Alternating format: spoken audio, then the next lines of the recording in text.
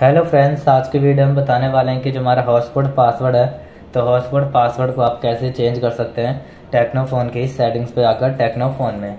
तो video start करने से पहले, हमारे चैनल को लाइक करें सब्सक्राइब करें और साथ में बेल आइकन दबाना ना भूलें। तो वीडियो स्टार्ट कर लेते हैं। तो आप देख सकते हैं कि फ़ोन के आइकन्स हैं, इस तरीके से शो हो रहे हैं। तो आपको सेटिंग्स पर क्लिक कर देना है। क्लिक करते ही फ़ोन की सेटिंग्स ओपन हो जाएगी।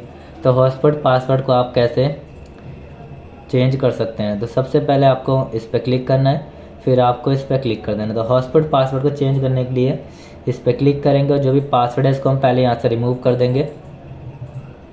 फिर न्यू पासवर्ड डाल देंगे। न्यू पासवर्ड डालते ही जो हॉटस्पॉट पासवर्ड है हमारे फ़ोन में चेंज हो जाएगा।